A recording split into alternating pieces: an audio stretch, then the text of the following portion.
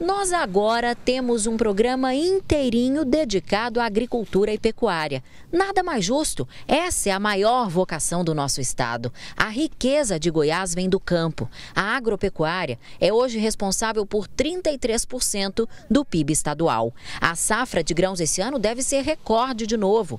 O Agro Record vem para dar espaço ao pequeno produtor, ao pecuarista, ao fazendeiro.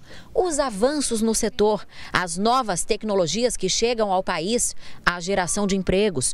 Tudo isso vai estar em pauta. Quem comanda a nova atração é Juliana Pertilli, que leva jeito para o negócio. Eu sou do Triângulo Mineiro, de Minas Gerais. Cresci vendo meu pai é, cortar lapier, levar a gente cortar lapier para misturar na ração, para tratar do gado.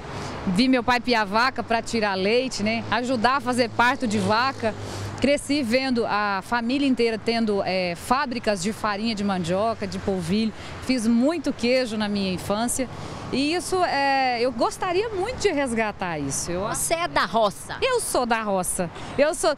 Nós é do campo. Estamos aqui nos bastidores. Ainda não dá para revelar tudo, mas eu vou mostrar só um pedacinho do cenário. Segure a sua curiosidade, porque estamos quase lá.